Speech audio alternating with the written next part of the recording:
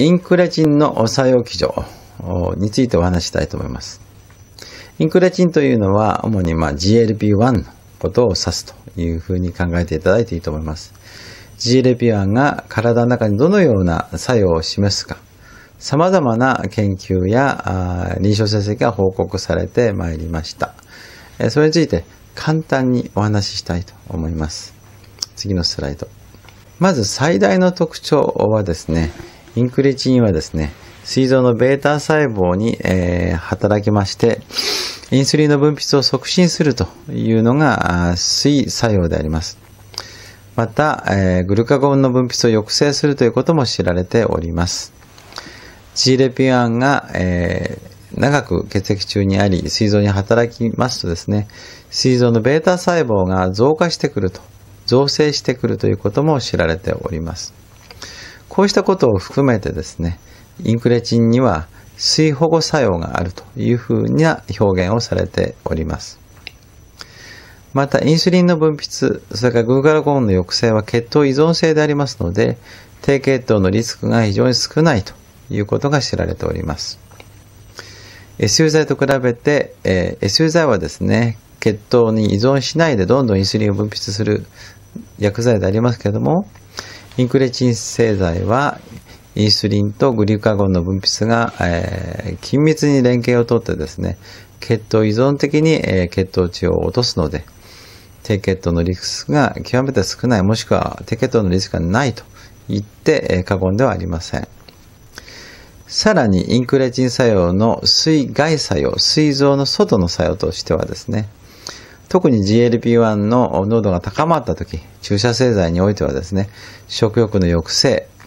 それからいい排出の遅延ということが知られております。食欲が出ない、それから胃に入ったものがなかなか小腸に落ちてこないということになりますと、たくさんものが食べれないということになりますので、体重が減ってくるというような、え、現象につながっていきます。えー、インクレチン作用の特徴と、ざっと言うとですね、ここに示しましたような、この図で示しましたような特徴が、まあ、最大の特徴であろうと私は考えております。もう少しこれを漫画で、えー、示してみます。えー、一般の糖尿病はですね、えー、インクレチン作用が低下している。言い換えれば GLP-1 の反応が低下している。ですから2型糖尿病になっていると。それによって、えー、GLP が低下しますから、インスリンは出ません。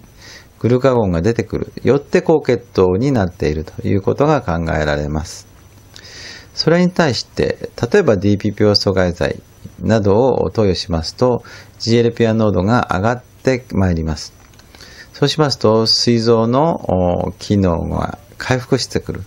ベータ細胞の機能が回復してくる。ランゲルハンス島の機能が回復してくる。それによって、インスリンの分泌が高まり、グルカゴンの分泌が抑えられます。それによって血糖コントロールが改善してくるということであります。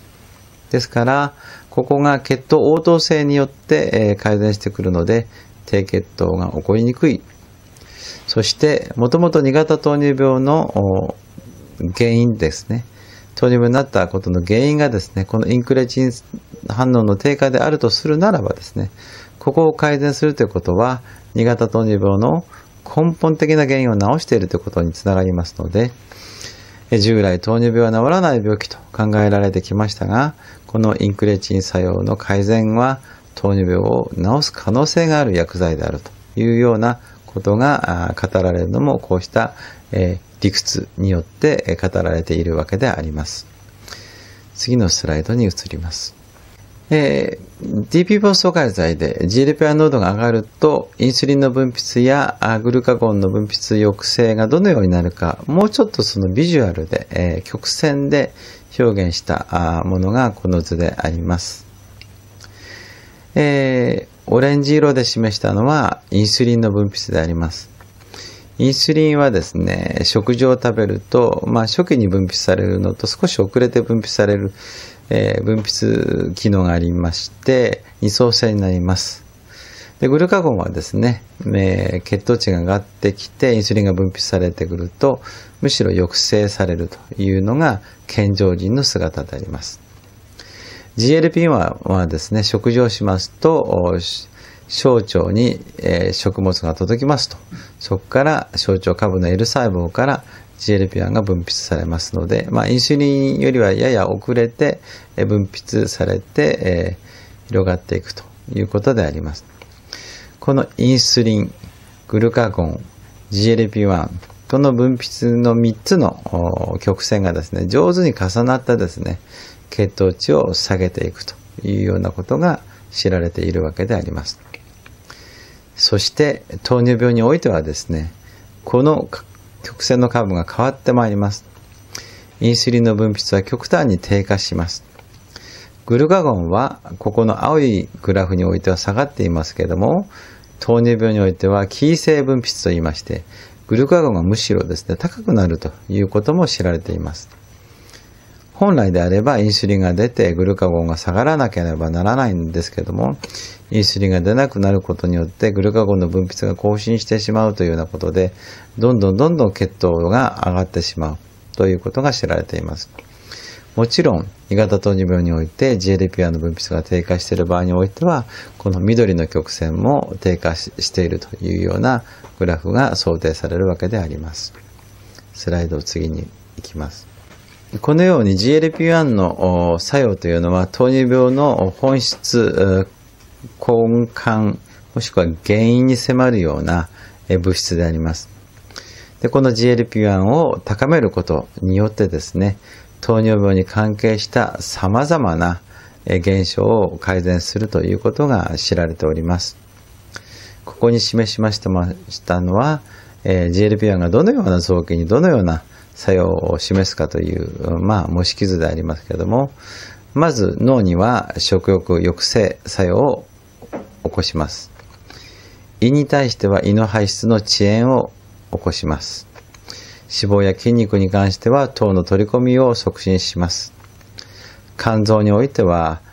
糖の酸性を抑制します。心臓においては心保護作用があるだろうと考えられています。えー、膵臓においては特にこれははっきり証明されていまして、ベータ細胞においてはインスリンの分泌、えー、それから造成などを助けるということが知られております。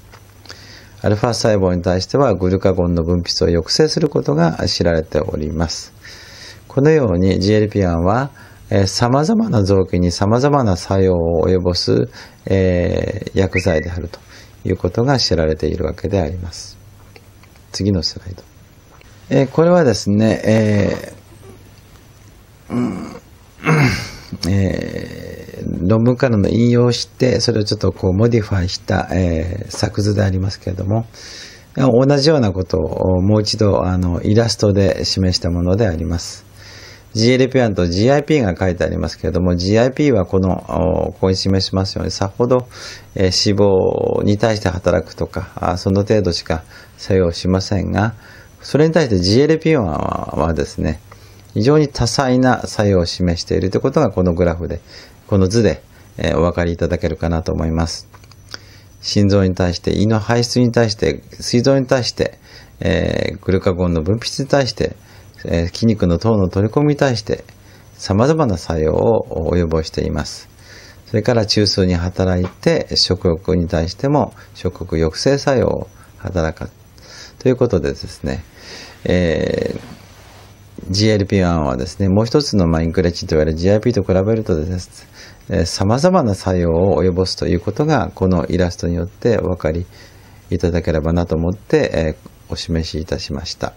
スライド次に移ります。まあ、このように、えー、インクレチンはですね、GLP-1 であるというふうに断言して構わないと思います。